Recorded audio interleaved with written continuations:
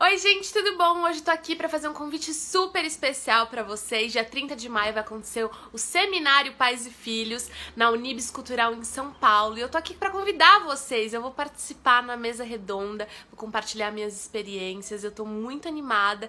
Então, dia 30 de maio a gente tem um encontro marcado. Eu espero todos vocês lá.